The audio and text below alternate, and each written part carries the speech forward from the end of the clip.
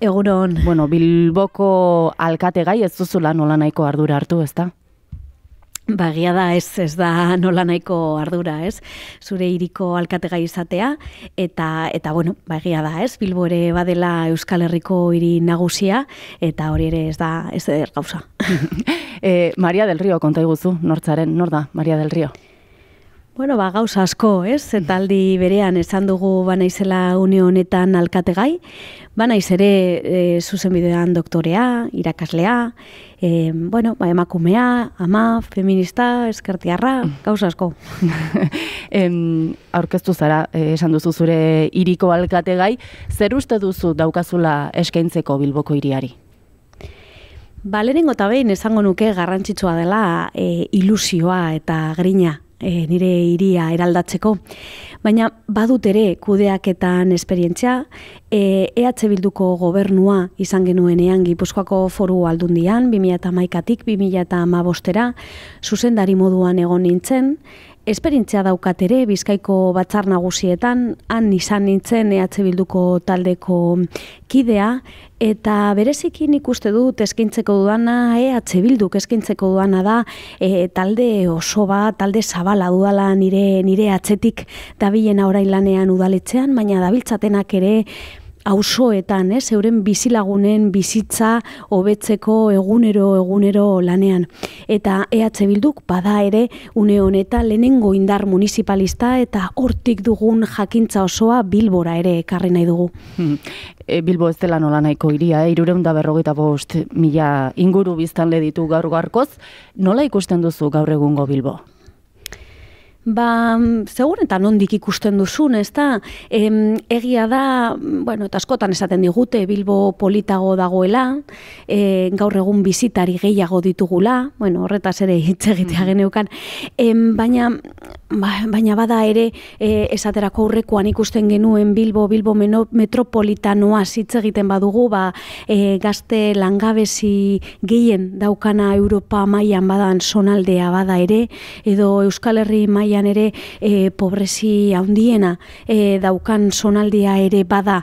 Bai, beraz, e, segunetan ondik begiratzen badiogu e, edukiari begiratuta, ba, asko dago betzeko. Hmm, e, ezker soberanistak esana du, esana duzue, urte luzetako hegemonia ustera zatuztela, zergatik uste duzue dela garrantzitsua e, horrekin austea?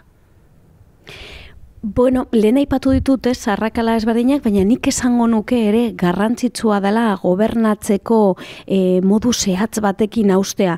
Nik esango nuke une honetan Bilboko udalak e, gobernatzen ari dela bizkarra ematen Bilbotarroi, bizkarra ematen e, hainbat elkartei eta eragile sozial eta ekonomikoei eta horri arazo bat da eta ez bakarrik bueno, ikuspuntu demokratiko batetik hori ere arazoa da hor galtzen ari garela ezagutza asko, e, ideia asko, indar asko eta hori ezin da horrela mantendu.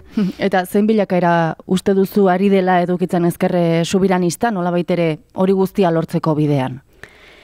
Bueno, bi mila eta maikan ez, proiektua zizenean, ehatzi bildutun proiektua zizenitik, nik esango nuke, gero eta argiago geratzen dela PNV-ko proiektuaren alternatiba garela, ez, alternatiba bakarra e, garela.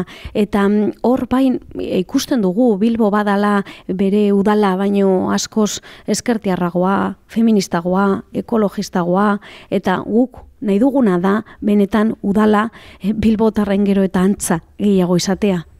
Ez du erreza izan behar ez da, hori guztia nola baitere, aipatzen, aipatzen ari garen guztiarekin, eh? Bilbo bezalako hiri handi batean haue guztiak txertatzea.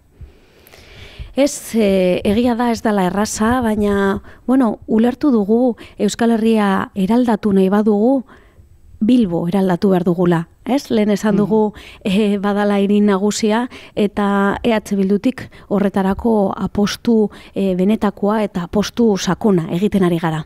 Lehen txago azpimarratzen edo marrazten zenigun e, argazki horretan aipatzen zenun gazte langabezia gehien duen ere badela, pobrezia handiena duena ere bai. Non ikusten dituzue gaur gaurko zuek eragin ere nagusienak?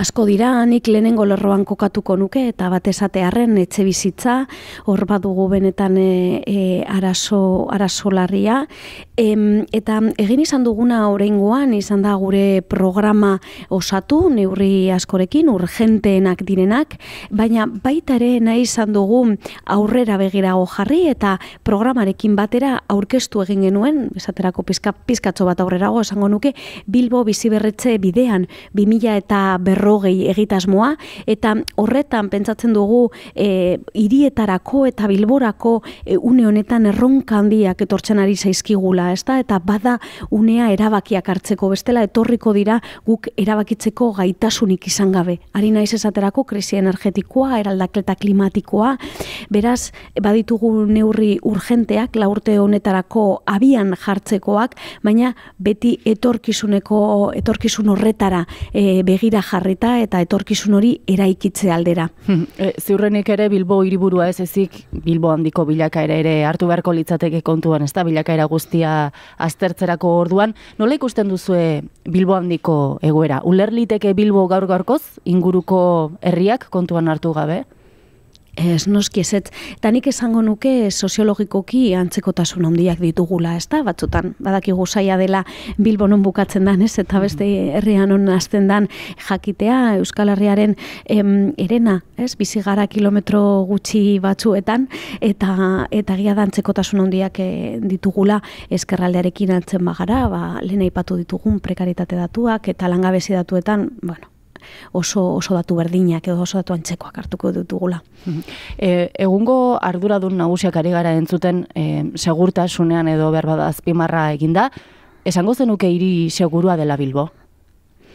Egia da, ez? Egia da saiatu saiatu egindala segurtasuna hauteskunde hauetan lehen lerrora eramatera e, egia da ere segurtasun esaren sentsazioak, ez, gure bizitzak mugatu algaitzuela eta horri e, ekin behar diogu, baina, bueno, nik uste dut kontu zibili behar garela hori nola egiten ari garen, ez? Kontu zibili behar garela bidaltzen ditugun e, mesuekin lagungarriak izateko eta eta eskontrakoa, ez? Oin dugu lagutzi entzuten genion gaurko alkateari, e, esan ez, ez, alako esaldia ba, palo al delinkuente eta horrelakoak, eta, eta aldiz, ba, elkorreka zairburuak esaten zuen mesu e, pedagogikoak bidali behar direla, ezin dela alarma sortu, e, ez du ematen bide beretik e, doa zela.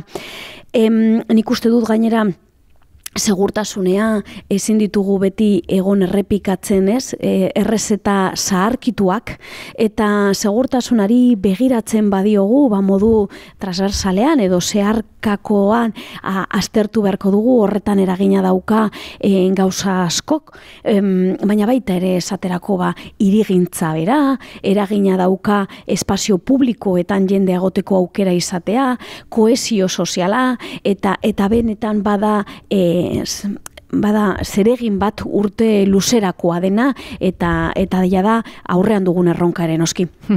e, zergatik esango zenuke dagola beraz, ez dakit horren beste gogo edo nahi segurtasunean azpimarra egiteko, zuk aipatu duzu egungo alkate denak ez orain gutxi egin zituen adierazpen eh, horiek, zer egon daiteke horren guztiaren atzean?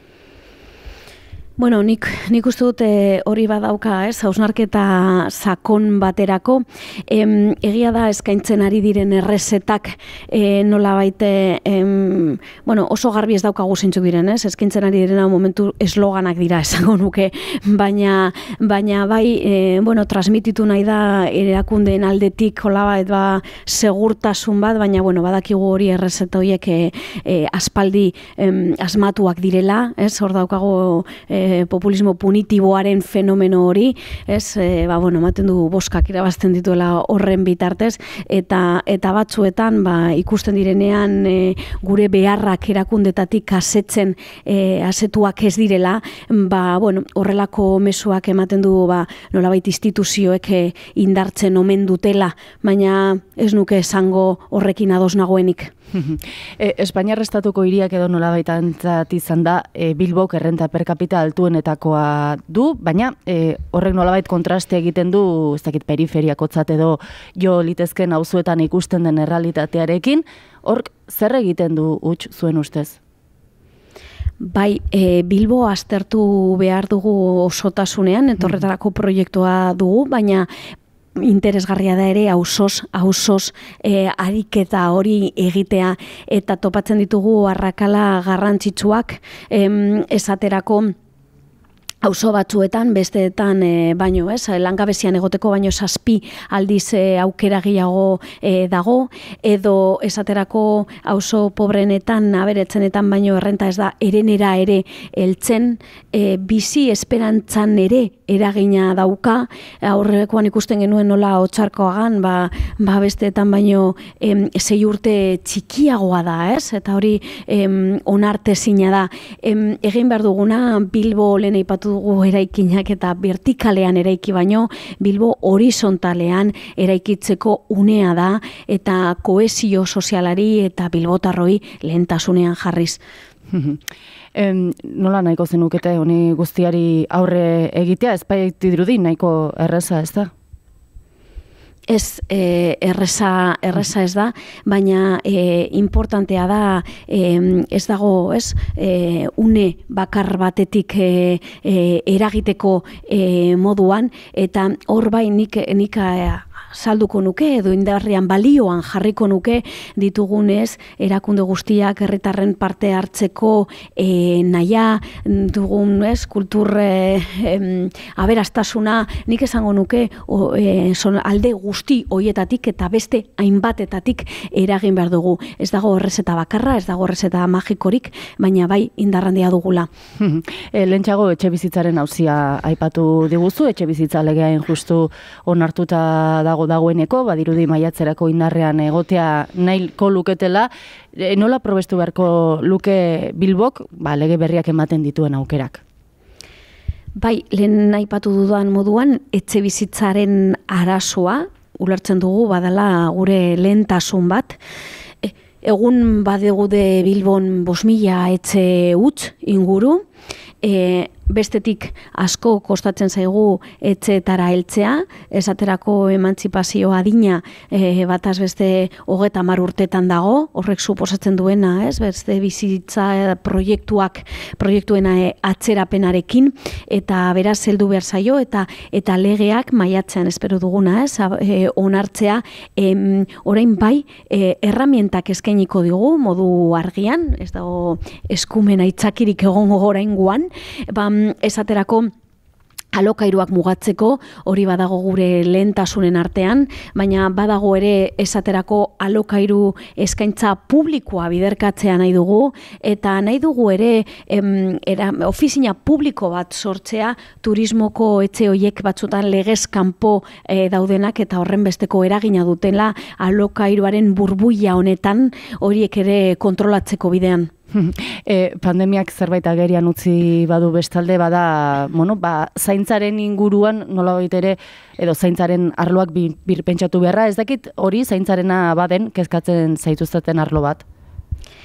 Noski, ez, eta mugimendu feministak gogoratzen digunez, behin eta berriro zaintzak erdian jarri behar ditugu, bizitza erdian jarri behar dugulako, eta hori guztia berpentsatzeko beharra e, dugu, eta politika guztien ardatz e, izan behar da. Baina, bueno, zehatzago erantzuteko, egia da zaintzak lotzen ditugula gizarte zerbitzuekin, horrekin bakarrik lotuta ez badago ere, eta horretan udaletzetatik zer zeregin handia dago, gizarte zebitzuen legeak ematen die udalei ardura ze, sistemaren sarrera izateko, sistemaren atea izateko, eta ate hori oso ondo funtzionatu behar du em, sistema osoa ondo funtzionatzeko. Eta horre gabeziak baditugu, bueno, bai. Esan, esan. Ez, esaten duen horretaz gain badirela beste sistemak, ez etxeko, etxeko langilena, oin arte gerban egon direnak, eta barruze bat. em, bukatze aldera, Maria del Rio, zein mezuela erazik nahiko zenioke, nola baitere ez da etorkizuna aldatzea beraien eskuetan dagoen bilbotarrei? Bueno, ba, ba esango nuke hilabete honen bukaeran, ez jada maiatzen gaude, mm hilabete honen bukaeran e, aukera paregabea dugula. E, pentsatzen dugunok e, eredu agortua dagoela honetan, honetan udaletzean, eredu e, zaharkitua e, dugula hone honetan e, udaletzean, e, badela unea hori aldatzeko eta badugu e, aukera bat, ez? Aukera aprobetsatu behar duguna eta zein garrantzitsua den une horretan guztion ahotsak entzutea eta guztion e, aukera, guztion bizipenak hor maiganean izatea. Maria del Rio Bilboko EH Bilduren alkategaia, sorteri konena, maiatzaren hogeita sortzi irako, eskerrik asko gaur gurekin egotegatik. Eskerrik asko zuei.